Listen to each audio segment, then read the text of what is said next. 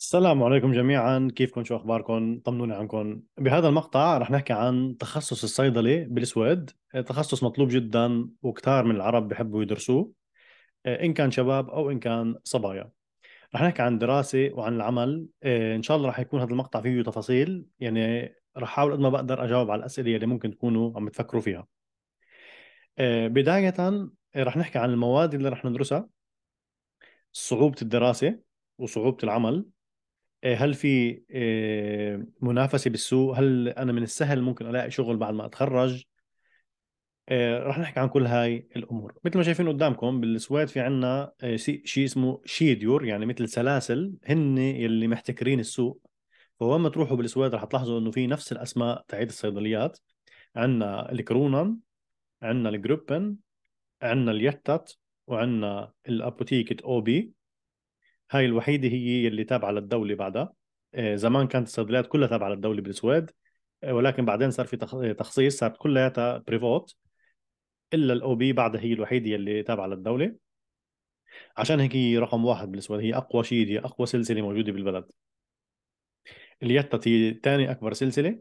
ومن بعدها في عندنا ال Gruppen وال Apotek Kronans فاتوا مع بعضهم اندمجوا حاليا فصاروا هن الثوالث. وعندنا هون ال DOZ اللي هي هي جديدة كان اسمها قبل Lloyds كان اسمها Lloyds Apotek هلأ صار اسمها DOZ. هاي طبعا أقل من هدول واصلا لهي الصيدلية اللي هي Lloyds أصلا من بريطانيا. طيب آه، فاذا هاي هيك مثل تعريف بسيط بالصيدليات بالسويد. آه، بداية آه، لازم نعرف إنه أنا لا أقدر أدرس جامعة بالسويد أصير صيدلي. لازم أكون مخلص الثانوية قبل. في ناس بتكون مخلصة الثانوية من بلدها وجاي على السويد. هدول الناس بيروحوا على شيء اسمه تعديل بيروحوا يعدلوا شهاداتهم. آه وهذا الشيء بتسووه أنتم لما تتواصلوا مع الموظفين اللي موجودين بالمدرسة بتروحوا على أي ثانوية أو فيكم تتواصلوا مع آه مع موظفين تانيين ممكن يكونوا بالجامعات مثلا ولكن يفضل إنك بما إنك أنت مخلص ثانوية ببلدك فقد يكون في مواد لازم تعدلها قبل ما تصير بحق لك تفوت على الجامعة. فيفضل تروح على المدرسة الثانوية اللي موجودة بمدينتك وتحكوا مع موظف اسمه موظف التوجيه والإرشاد بيكون اسمه ستوديا och yrkesvägledare. بيختصروه بيقولوا عنه SYV.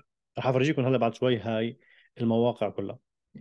هو هذا الموظف هو اللي مسؤول عن التوجيه آه، والإرشاد بالدراسة. بخبرك أنت بعدل لك شهادتك آه، ببعث لك إياها على التعديل وبتناقشه بتسأله أسئلة بجاوبك ممكن يحط لك studieplan بحط لك خطة الدراسة تبعيتك شو بعد في مواد أنت خلصتها وشو في مواد بعدك ما خلصتها شو أسهل طريق وأسرع طريق لازم تدرسه لحتى توصل للتخصص اللي أنت بدك إياه. يعني هو بيسألك بقول لك أنت شو حابب تتخصص بالسويد بتقول له أنا بدي أدرس صيدلة. فبيعدل لك شهادة الثانوية وعلى أساسها بيقول لك أنت ناقصك مادة اثنين ثلاثة أربعة بالثانوية لازم ترجع تدرسهم بالسويد وتنجح فيهم علشان تصير أنت بهورج يعني تصير أنت بحق لك تلتحق بالجامعة كصيدلة. تمام؟ آه خلونا نروح على هاي المواقع باختصار ونحكي عنها بسرعة. مثل ما شايفين هون عندنا موقع جامعة Göteborg. Göteborgs universitet آه، فيكم تفوتوا على هاي الجامعة فيكم تفوتوا على موقع المدرسة الثانوية اللي بتكون عندكم بالمدينة. كلياتهم عندهم موظف اسمه studievägledare تمام؟ هو هذا الموظف هو vägledare يعني هو اللي بيوجهك خلال الطريق هو اللي بيرشدك. تسألوا عن هذا الموظف فيكم تبعتوا إيميل تقولوا نحن بدنا نحكي مع الموظف اللي عندكم اللي بيشتغل studievägledare بيعطوك رقم تليفونه أو إيميل وتتواصلوا معه. فيكم تحجزوا موعد وتروحوا تقابلوه شخصيا وبتاخذوا معكم شهاداتكم الثانوية وهو بالعربي وهو بيبعث لكم إياها على التعديل. إذا أنتم حابين تعدلوا شهاداتكم بنفسكم بتفوتوا على موقع اسمه u اللي هو هذا قدامكم. U تمام؟ اللي هو Universitet och Högskole Rådet هون هذا الموقع من خلاله فيكم أنتم تبعتوا شهاداتكم بالعربي آه، وهن بيترجموا هن بيعدلوا لكم إياهم. أو مثل ما قلت بتحكوا مع موظف الاستوديو فيج ليدر وهو بيقوم بهاي المهمة. فإذا هذا موقع مهم اللي هو UHR punkt se هذا موقع للتعديل. وفيه طبعا شغلات ثانية مثل ما شايفين قدامكم. طيب. آه، آه، فاذا هذا الشخص اللي جاي ومعه ثانوية من بلده لازم يعمل هاي العملية. تعديل الشهادة وعلى أساسها ببين شو المواد اللي هو مخلصها معترفين له فيها بالسويد وشو المواد اللي مش معترفين له فيها بالسويد ولازم يرجع يعيد دراستها بتكون مثلا مواد مهمة مثل مثلا الفيزياء مثل الكيمياء اثنين. فبيرجعوا بدرسوك إياها مرة ثانية بالسويد ليتأكدوا إنه أنت قادر تفهمها وتنجح فيها لأنها مطلوبة بشكل أساسي بدراسة الصيدلة رح نحكي عنها بعد شوي. في ناس بيختاروا طريق آخر اللي هو högskoleprov في امتحان بيعملوه خاص بيعملوه هذا هو بيجي صعب شوي. بيعملوه فقط بالرياضيات بالسويدي بالإنجليزي. آه، آه، وإنت إذا أثبتت إنه إنت قدرت تنجح بهذا الامتحان بعلامه منيحة فإنت بتتخطى مرحلة الثانوية كلها وبتروح مباشرة على التقديم على الجامعات. هذا الامتحان طبعا مش الكل بيسويه لأنه هو صعب. كثير ناس بفضلوا لا بيدرسوا الثانوية بشكل عادي. يعني بيقعدوا سنتين ثلاث سنوات بيخلصوا الثانوية كلها. بعدين بيروح بيقدموا على الجامعة. في ناس لا بيكون هو شاطر جاي من بلده عارف حاله إنه هو شاطر بالرياضيات بالإنجليزي بيتعلم سويدي وبيروح بيعمل هذا الامتحان فقط لا غير högskoleprov وهو حظه. إذا نجح وجاب علامه منيحة بحق له يصير يقدم على الجامعات. طيب أنا اليوم ما راح أحكي ما راح أحكي عن هدول الناس راح أحكي فقط عن الناس اللي بتيجي بتدرس الثانويه بالسويد مثل ما أنا سويت اللي هو الثانوية كلها بتيجي تدرسها بالسويد تمام؟ طيب. هاي الثانوية بتكون عادي يا أما أنت بتكون جاي لهون عمرك صغير بتفوت على الثانوية عادي عمرك مثلا 17 18 مثلا وخلص بتدرسها. أو بتيجي أنت كبير وبترجع بتعيد دراسه الثانوية مرة ثانية. آه، هون بحطوك بثانوية الكبار هي اسمها كامبوس تقريبا. آه، أو كونفوكس أو هيك شيء. آه، وهون أنت بتدرس المواد الطبيعية العادية كلها تمام؟ طيب بهذا الموضوع راح افرجيكم أنا شغلة. هون عندي أنا عده مقاطع راح افرجيكم إياها. هذا مقطع أنا سويته زمان على قناتي اسمه حساب معدل الشهادة الثانوية في السويد.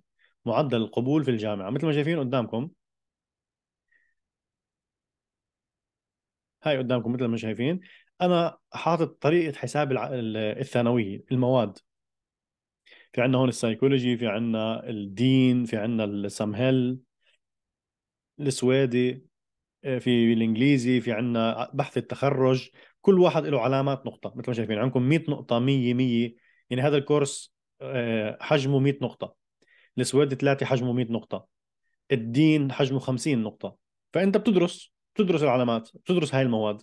لازم لحتى يسمحوا لك تتخرج من الثانوية وتقدم على الجامعات لازم تكون تخلصت أنت كل الثانوية وحصلت على شيء اسمه يومناسيا إكسامن اللي هو بقى يعني يعني شهادة التخرج من الثانوية. بيكون مجموع الكورسات اللي أنت خلصتها لازم يكون حصرا لكافة التخصصات بالسويد يكون 2400 نقطة حصرا.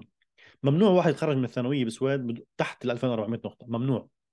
لازم تجيب 2400 نقطة هذا شيء مهم جدا تمام؟ ومعدلك مثلا هون مثل ما شايفين بالصورة طالع المعدل 19.7 في له عملية حساب. احضروا هذا المقطع اللي مهتم يعرف كيف يحسب عمليات يعني معدل الثانوية. أنا شارح بالتفصيل كيف نفهم ونعمل هاي العملية. تمام؟ فاذا 2400 نقطة هذا الشيء لازم أحصل عليه من الثانوية. ولكن هون في شغلة مهمة. هل كل واحد معه 2400 نقطة بحق له يقدم على الصيدلة؟ طبعا لا.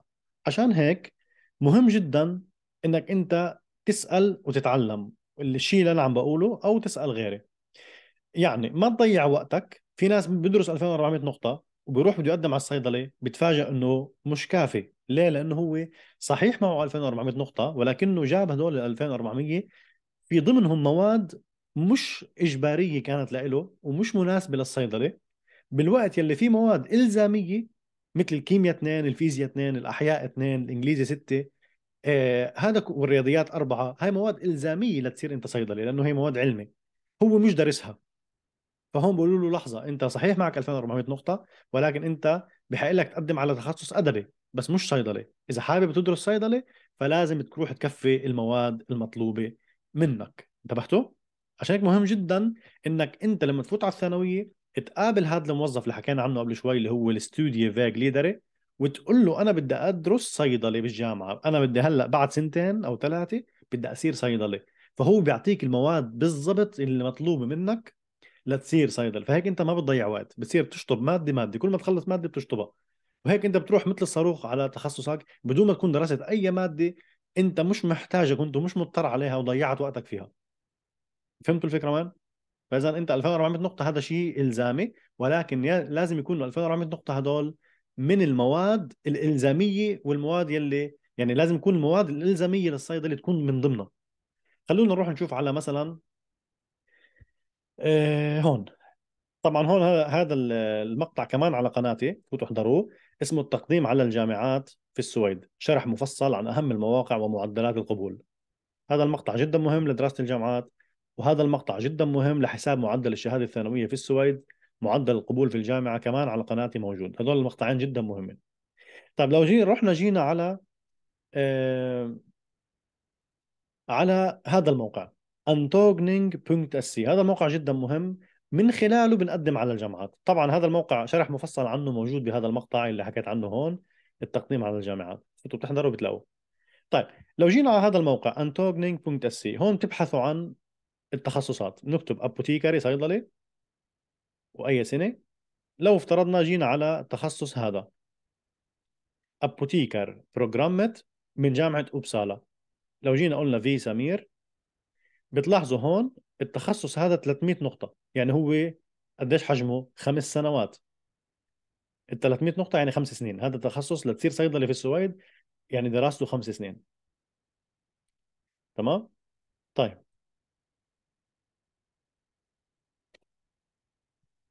بجامعة أوبسالا هذا التخصص هو normal آه، helfart. يعني هو 100% ولازم يكون på plats يعني لازم تروح تحضر.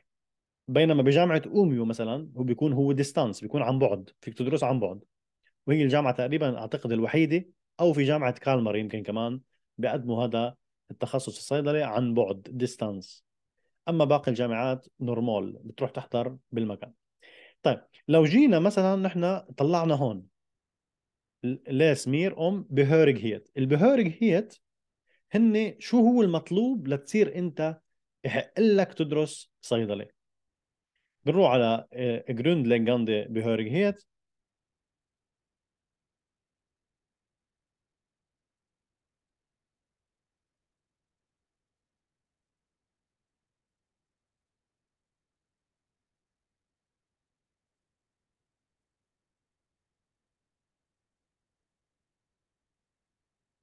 طيب خلينا نشوف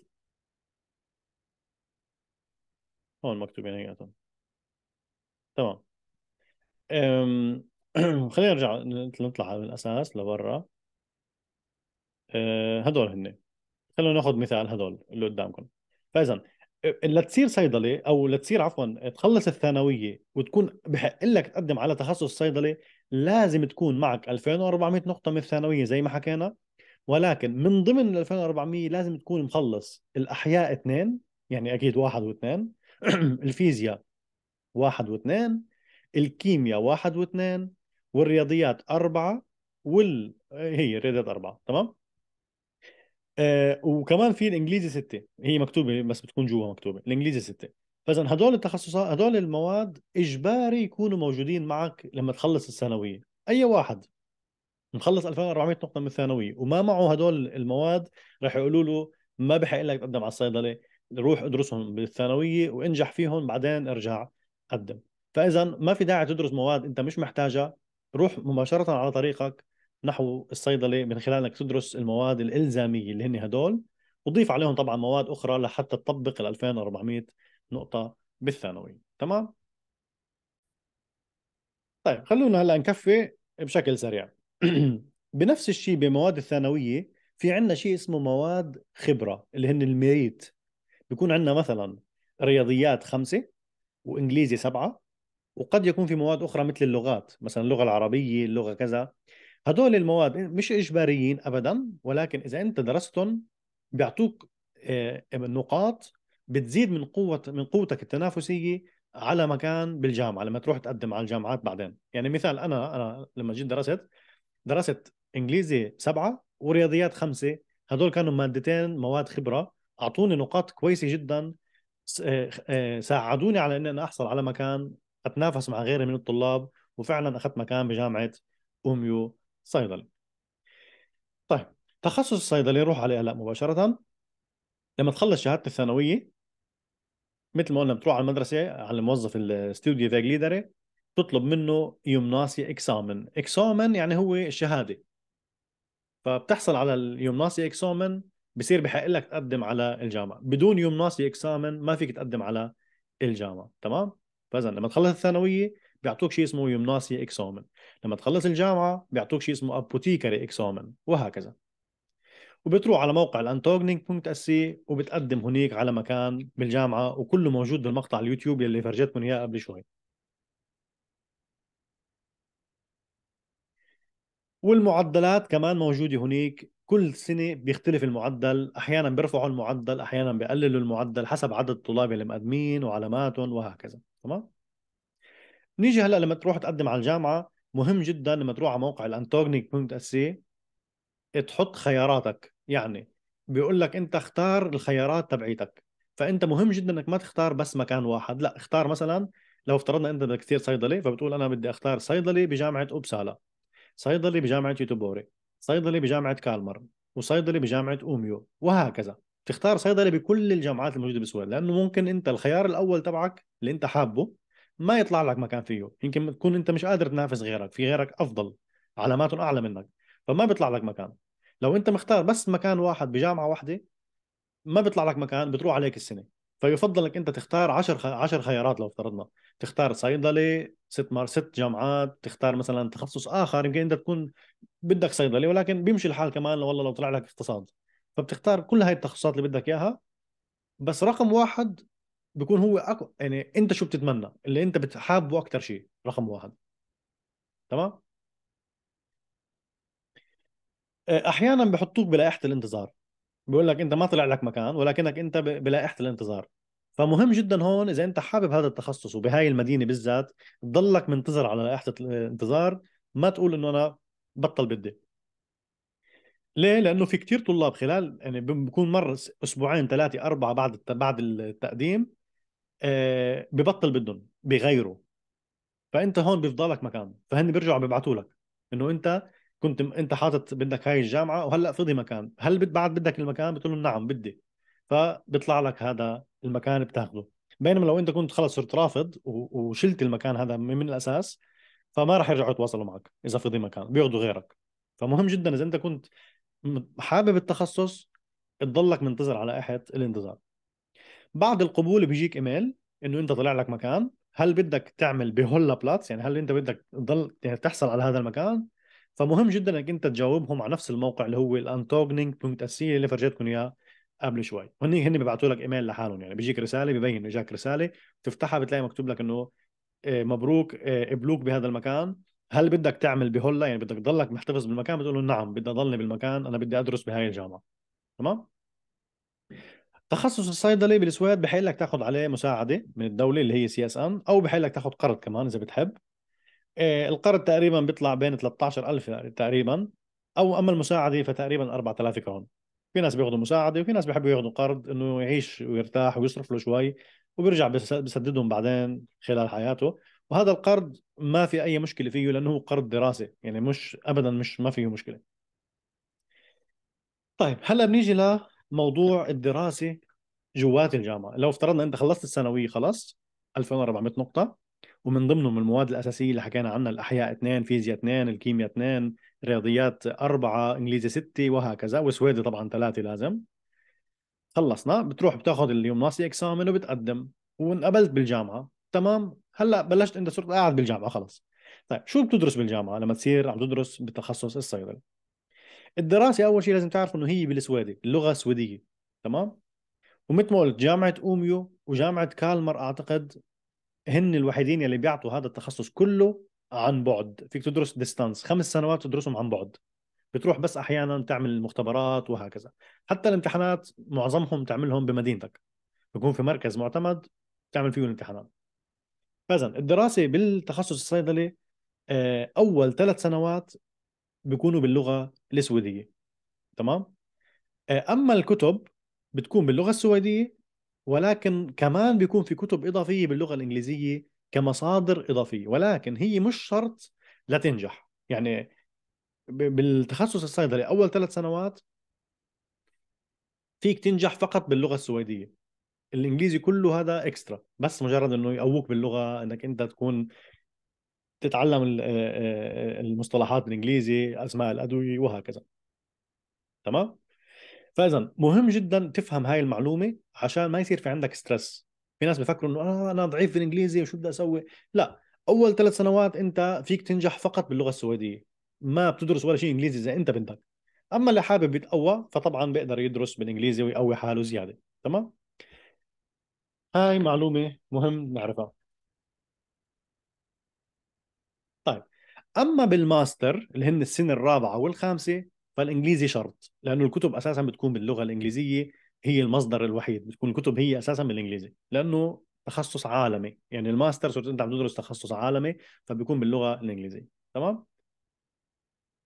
فاذا مهم جدا نعرف هاي المعلومة لأنه أول ثلاث سنوات أنت إذا أنت ما بدك تشتري الكتب الإنجليزي مش مضطر أصلا. فيك توفر فلوس واللي ما بده يعرف إنجليزي أو مش شاطر بالإنجليزي فما يخاف ابدا. تمام؟ طيب الدراسة بشكل عام أنا شفتها سهلة. طبعا بيختلف من شخص لشخص. أنا بالنسبة لي لقيت الدراسه كانت ممتعة وكانت سهلة.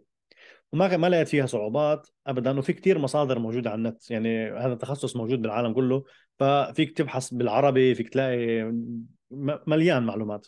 يعني الشيء اللي ما بتفهمه أصلا باللغة السويدية أو بالإنجليزي بتروح بتلاقيه موجود بالعربي بمواقع ثانية كثير مثل ما قلت الدراسه فيك تدرس بالمكان يعني فيك تروح تداوم بالجامعة وفيك تدرس عن بعد.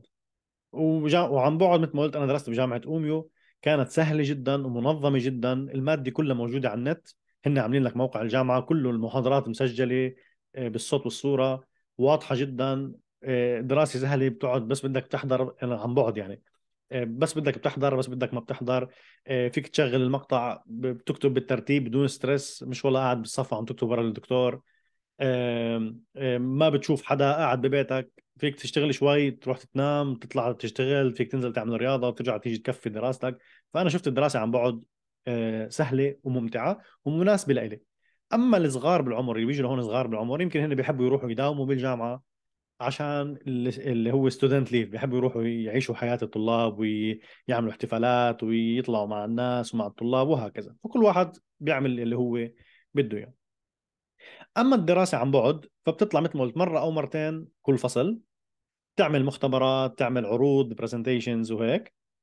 إيه، أما الامتحانات قلت جنب بيتك بيكون في عادة مراكز معتمدة هن بيعطوك لائحة من الجامعة أول السنة بيقول لك شو هي المراكز المعتمدة؟ أنت بتشوف أقرب مركز موجود على بيتك تتواصل معهم بتقول لهم أنا طالب بالجامعة بدي اصير اعمل عندكم امتحانات. فبقول لك تمام. وبتصير كل قبل كل امتحان بفترة ب 20 يوم مثلا بتبعت لهم أنا عندي امتحان بالمادة الفلانية بدي احجزوا لي مكان عندكم. ببعثوا لك موافقة وتأكيد إنه حجزنا لك مكان كله ببلاش. بتروح بتلاقي الأستاذ ناطرك وطبعا تكون أنت مبلغ الجامعة تاعيتك إنه أنا بدي أعمل امتحاناتي اسير بهذا المركز. بصير دكتورك بالجامعة هو مباشرة بيبعث الامتحان لهذا المركز. بتروح أنت بتلاقيهم ناطرينك وورقتك موجودة وتفضل وبلش الامتحان تمام؟ وبس يخلصوا هن بيبعثوها بالبريد ل... للجامعة وهكذا. الأمور سهله سهلة صراحة وسلسة. أما الدراسة السنة الأولى والثانية بدرسوك عن الجسم السليم الأعضاء والخلايا. بدرسوك عن الجسم المريض ليش بتمرض الأعضاء؟ شو بصير فيها؟ بدرسوك كيمياء. مش كتير كيمياء على فكرة في كيمياء بس مش كتير كتير ولا مثل ما واحد بفكر. في إحصاء شوي استاتستيك يعني إحصاء. بدرسوك عن الدواء شو الدواء بيعمل بالجسم وشو الجسم بيعمل بالدواء. السنة الثالثة بيعطوك عن الفيتامينات بيعطوك عن السموم بيعطوك عن كبار السن والأدوية تبعيتهم وكيف بيصير معهم أمراض وكيف بيتغير الجسم مع الكبر.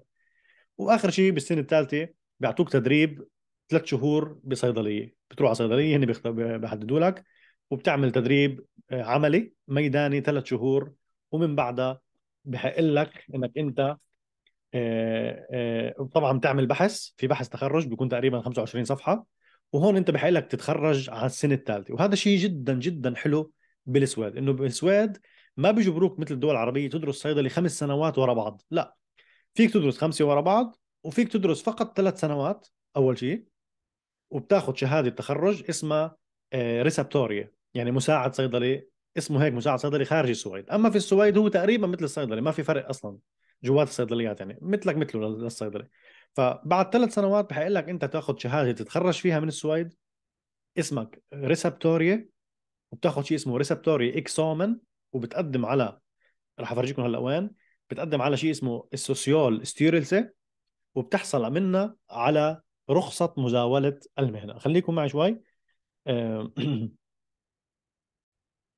مثل ما شايفين قدامكم هون في عندنا شيء اسمه legitimation Socialstyrelsen punkt se هاي طبعا هي تابعة للدولة هاي مؤسسة مؤسسة حكومية يعني. هي اللي مسؤولة عن آه، تصنيف الأمراض مسؤولة عن إعطاء رخص مزاولة المهنة. آه، وفيها وتعمل تقارير حكومية عن الأمراض وعن الحالات الصحية بالبلد وهكذا.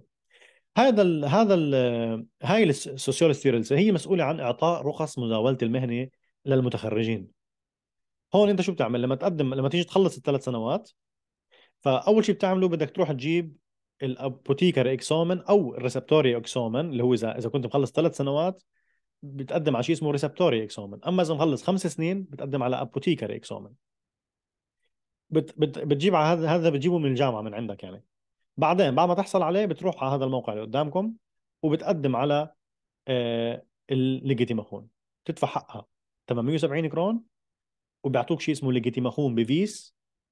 فرجيتكم هذا الشيء كله بالتفصيل. عندي على قناتي فوتوا على مقطع اسمه مشوار الدراسي في السويد. حكي بالتفصيل وفرجيكم كمان شهادتي وفرجيتكم فيها هاي اللي بفيس. وبعد فترة ببعثوا لك إياها على البيت بالبريد. تجيك رخصة مزاوله المهنة وهون بصير فيك إنت تروح تشتغل بالصيدليات خلص كصيدلي أو كمساعد صيدلي معتمد في السويد معك رخصة مزاولة المهنة. فإذا بنجيبها لهي الرخصة من وين؟ من شيء اسمه Socialstyrelsen يعني مصلحة حكومية. اتفقنا؟ طيب هون أنت خلصت سنة السنة الأولى والثانية والثالثة ومثل ما قلت بحق لك تصير متخرج في السويد تشتغل كريسبتوريا. هلأ اللي بده يكفي صيدلي اللي هو الابوتيكري يعني لازم يدرس السنة الرابعة والخامسة. بالسنه الرابعة والخامسة بتصير الدراسة بالإنجليزي وبدرسوك فيها الكيمياء العضوية بدرسوك فيها صناعة الأدوية وخصائص الدواء بدرسوك عن الجينات عن اقتصاد الدواء والسعر وشكل الدواء والتسويق. وبتعمل فيه تدريب ست شهور بصيدلية بتروح تشتغل بصيدلية ست شهور. وكمان بتعمل بحث تخرج بدرسوك فيه كيف تكتب ابحاث التخرج وكيف تعمل نقد علمي و... وبتتخرج. بس تتخرج بتحصل على شيء اسمه apotekarexamen من الجامعة. بتروح على المصلحة اللي خرجتكم إياها بشوي الحكومية ال Socialstyrelsen بتقول لهم أنا بدي احصل بدي أقدم على رخصة مزاولة المهنة كصيدلي بتدفع الفلوس وبيعملوا عليك إنه طبعا بحث عند الشرطة إنه ما عندك مشاكل ولا عندك إدمان ولا عندك لأنه ممنوع تصير صيدلي أو كذا. تشتغل بالدواء وأنت مدمن مثلا. بس يتاكد إنه كل شيء عليك تمام نظيف. بيعطوك هاي الرخصة وساعتها بتروح تقدم على الصيدليات وبقول لك إيه لما تقدم على شغل بقول لك فرجينا الرخصة تفرجيهم إياها. الدراسة بشكل عام حلوة وممتعة صراحة بس مثل ما قلت في جدية بالتعامل لأنه المهنة هاي حساسة إيه حساسة شوي يعني. بعد ما تتخرج مثل ما قلت بتحصل على شيء اسمه receptarieexamen بعد ثلاث سنوات أو apotekarexamen بعد خمس سنوات وبتحصل على اللي مخون من ال Socialstyrelsen تمام؟ العمل بالصيدليات. فإذا الدراسة مثل ما قلت الدراسه حلوة وممتعة. أما العمل بالصيدليات فصراحة نحكي بكل صراحة العمل بالصيدليات هو العمل موجود والحاجة دائما موجودة. يعني أينما وجد البشر وجد المرض وجد الدواء وجد الدواء. تمام؟ فدائما في عندنا حاجة للصيادلة وحاجة لمساعدين الصيادلة ودائما في عندنا أمراض جديدة مستعصية وفي عندنا مشاكل مثل مقاومة البكتيريا وهكذا. هذا كله بيخلق حاجة وطبعا في كبار سن كثير في ختايرة كثير موجودين بالسويد. يعني 60% 60% من الشعب كبار سن. فدائما أنت هاي المهنة مطلوبة.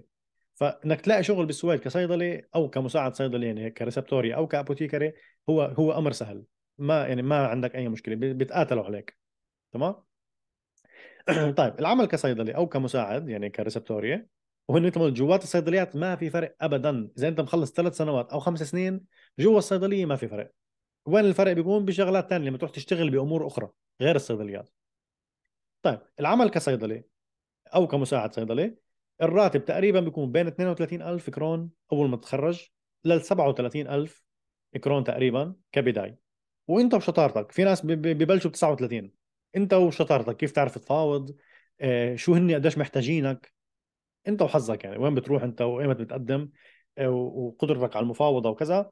هذا كله ممكن يخليهم يرفعوا من الراتب بشكل عام ولكن بشكل عام بين 32000 و 37000 كبداية. وبعد كم سنة مثل ما قلت توصل لل 45000 كرون معاشك.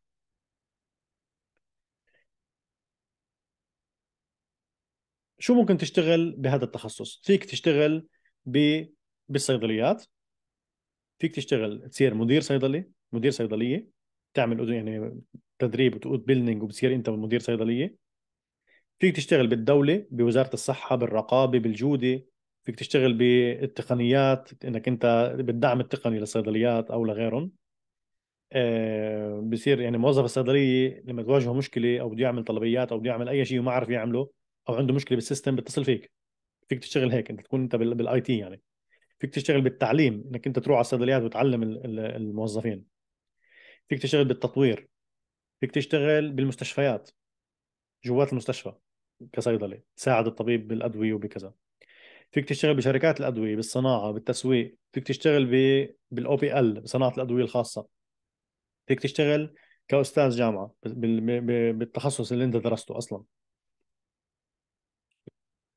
أما بنحكي هلأ على العمل بالصيدلية تمام؟ العمل بالصيدلية آه، لازم تعرف هاي الأمور. أول شيء آه، آه، بشكل عام بتكون الثياب محددة يعني أنت بتلبس ثياب محددة ففي ناس يمكن ما بتحب هذا الموضوع. فلازم تعرف إذا أنت بدك تشتغل بالصيدليات تقريبا حتكون ثيابك محددة بلبسوك الروب بلبسوك كذا. زبائنك بشكل عام بيكونوا كبار بالسن أو بيكونوا مرضى بشكل عام. ولكن طبعا في شباب بيجوا بيشتروا لناس تانيين أو بيشتروا لنفسهم.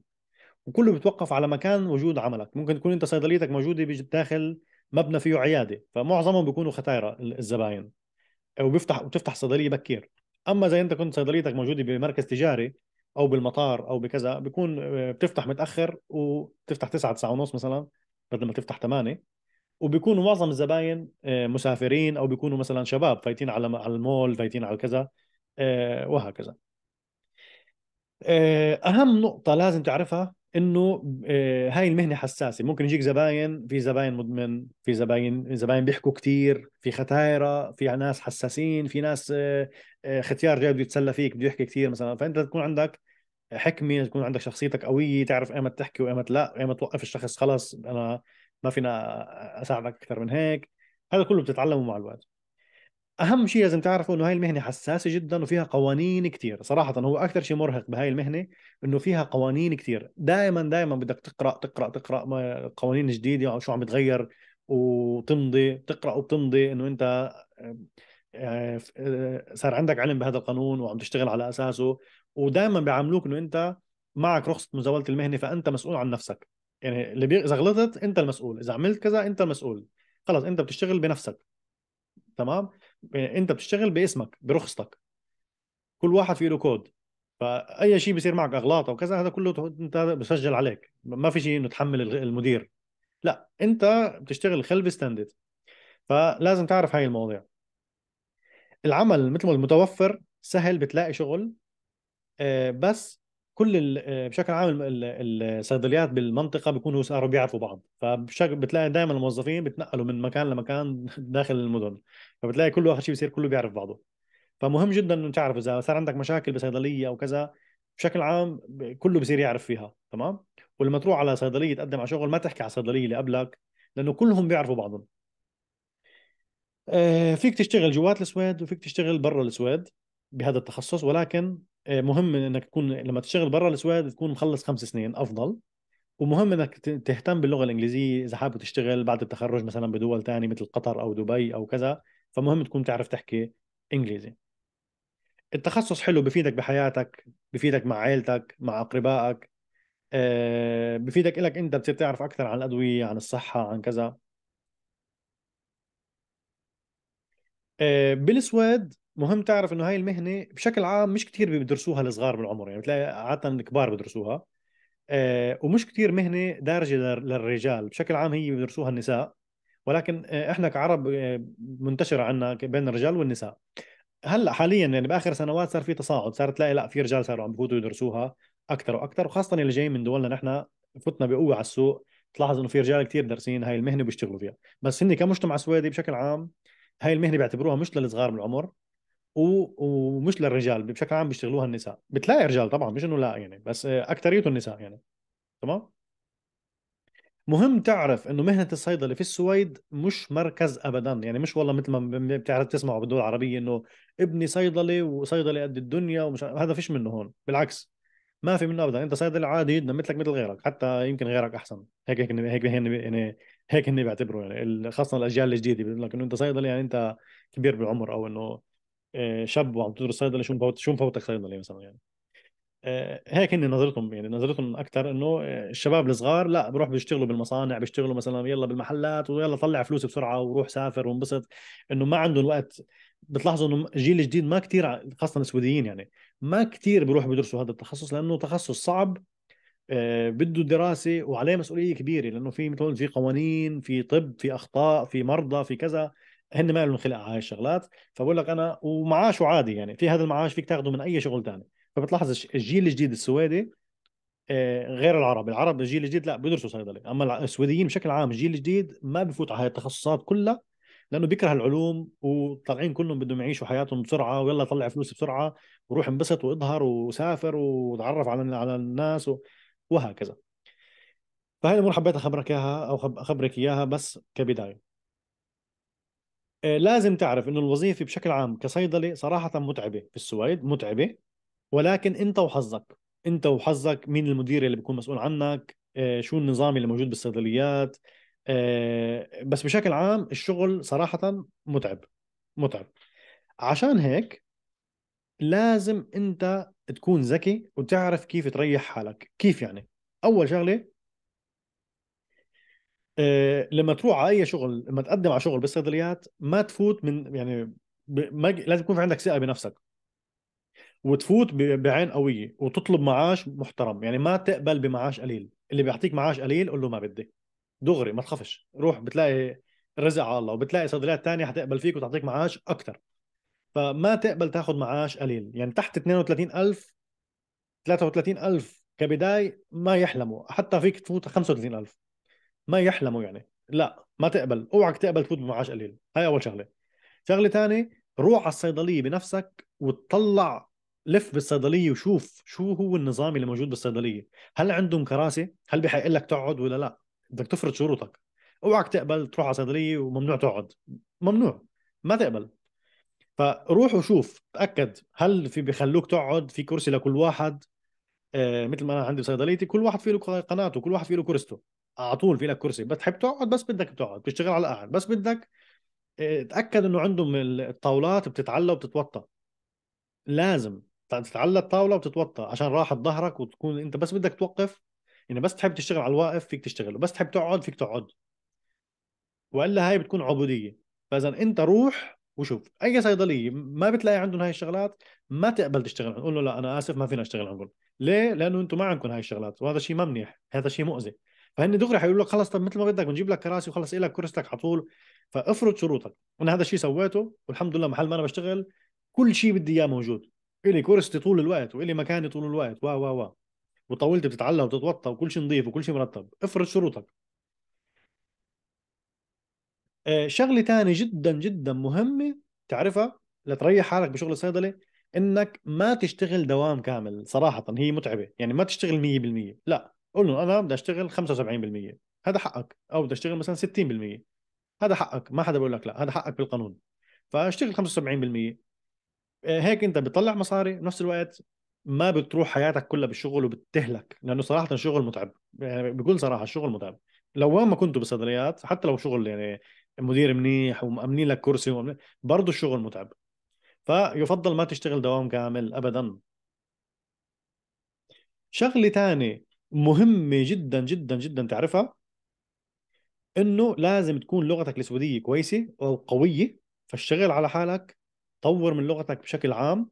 وإذا بتعرف تحكي إنجليزي كمان أحسن وأحسن. بس مهم جدا جدا تكون تعرف تحكي سويدي وتعرف تكتب سويدي ها. تعرف تقرأ. وتفهم لأنه في كثير قوانين كثير كثير في قوانين بدك تقرأ طول الوقت. تمام؟ بدك تعرف تحكي مع الزباين ولا بصير في أخطاء وبيسحبوا منك الرخصة ساعتها. هاي شغلة. شغلة ثانية مهم جدا تعرفها إنك أول ما تفوت على شغلة الصيدلة راح تكون أول سنة تقريبا أو سنتين متعبين. راح يكونوا متعبين كثير فما تحكم على هاي المهنة من أول سنتين. ليه؟ لأنه لما تفوت أول أول فترة راح تكون كل شيء جديد عليك.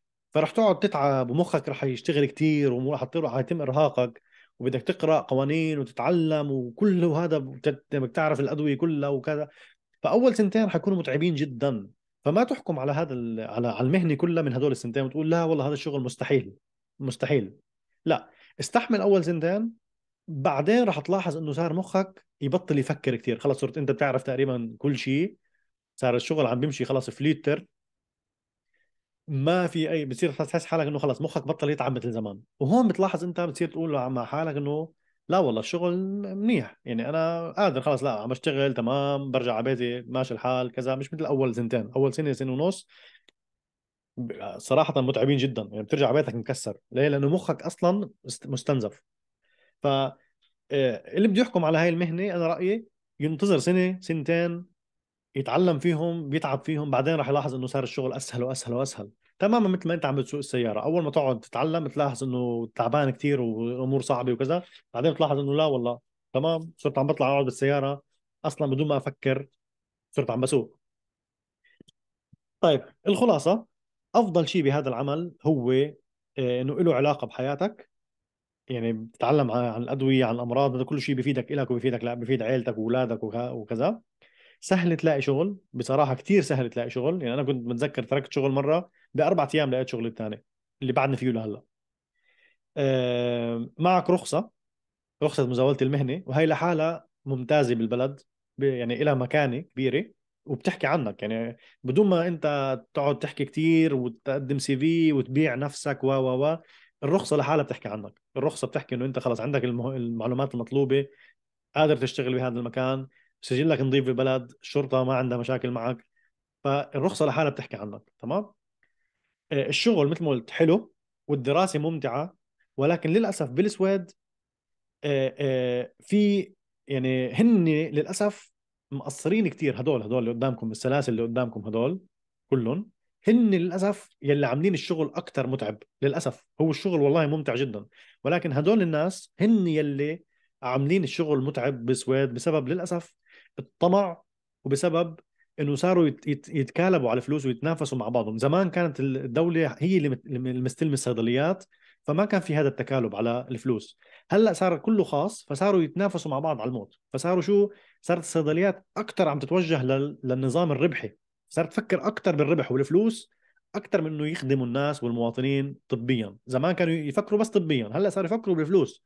بما إنه صاروا يفكروا بالفلوس صاروا يضغطوك كثير كيف يعني؟ يضغطوك كثير من ناحية إنه البادجت من ناحية إنه لازم نبيع كثير آه كل شوي بتلاقي بينزلوا لك كامبانير ويلا ونزل السعر واعمل وسوي وبتلاقي برهقوك شغلة ثانية متعبة جدا بسبب آه تكالب على فلوس إنه صاروا يقللوا الموظفين عشان يوفروا فلوس فبصير في إرهاق عليك. وهي شغلة عم نعاني منها كلنا بالسويد واشتكينا 100 مرة وكذا وصارت سبب من أسباب إنه إحنا كثير صرنا عم نمرض يعني بنقدم طلب مرضيات نروح نقعد بالبيت خلاص أنا مريض بدي أرجع شغل. للأسف. بسبب هذا الضغط بلشوا شوي يستحوا على حالهم فصاروا يحاولوا يجيبوا لنا موظفين بسموهم كونسلتر يعني بيجوا موظف بيكون هو آه، بشركة توظيف بيبعثوه لعندك. طبعا بيكون هو صيدلي ولكن هو متعاقد بهي الطريقة. بيبعثوه بسد النقص. فصاروا يجيبوا لنا من هدول الناس يعني بيشيلوا عننا شوي. ولكن بعدنا بمعركة مع آه، مع النقابات ومع الصيدليات إنه يحترموا حالهم شوي وحاجة يتكالبوا على الفلوس. فمثل ما قلت انت وحظك وين بتلاقي شغل؟ بس بشكل عام الشغل صراحة فيه تعب فحاول تشتغل أقل ما تشتغل 100% بكل صراحة. الوقت اللي حتوفره روح اعمل فيه شيء ثاني افتح لك قناة على اليوتيوب روح اعمل لك بزنس آه، خاص فيك اللي بدك إياه. حاول انك إنك توفر بطرق أخرى توفر فلوس وتوفر وقت. من من خلال إنك أنت تسكن قريب من شغلك فيك توفر ساعتها بنزين وتوفر وقت. حاول تدور على مكان ترتاح فيه وتسأل قبل بوقت وتروح تشوف بعينك روح شوف الصيدلية يتقابل مع المدير شوف شخصيته هل هو لئيم هل هو متسلط هل هو لأ طيب هل في عندهم نظام الصيدلية جديدة مرتبة منظفينها مجددينها آه، النظام عندهم سهل آه، هل في لك كرسي لكل واحد وهذا حقك الطبيعي ولا هن شايفين كأنه عم بمننوا عليك؟ اللي بشوف اللي بس تحسهم عم بمننوا عليك وعم بيعملوك كعبد اترك دغري ما ما تشتغل هل في لك كرسي في لك طاولة بتتعلى بتتوطى و و و. كل هاي الأمور لازم تشوفها وتنتبه منها لتعرف إنه أنت فايت على مكان كويس بليق فيك مش فايت على جحيم أو على فخ. وآخر شغلة بدي أنصحكم فيها إنه يلي بده يدرس جامعة صيدلة آه، مش ب مش ب مش مش عن بعد يعني مش distans بده يروح يداوم بالجامعة فلازم تقدم على سكن قبل بوقت طويل. روح قدم قبل ثلاث سنوات أو أكثر على مكان تسكن فيه على شركات السكن عشان لما يطلع لك قبول بالجامعة تكون تقريبا قربت قرب دورك بأنك تلاقي شقة. إن شاء الله تكون المعلومات وصلت والأمور واضحة آه، عن هذا التخصص وعن العمل فيه. بتمنى التوفيق للجميع كان معكم خالد. ومثل ما قلت إذا بدكم شيء إن شاء الله ابعثوا لي بس بشكل عام المقطع واضح يعني بإذن الله. كان معكم خالد والسلام عليكم.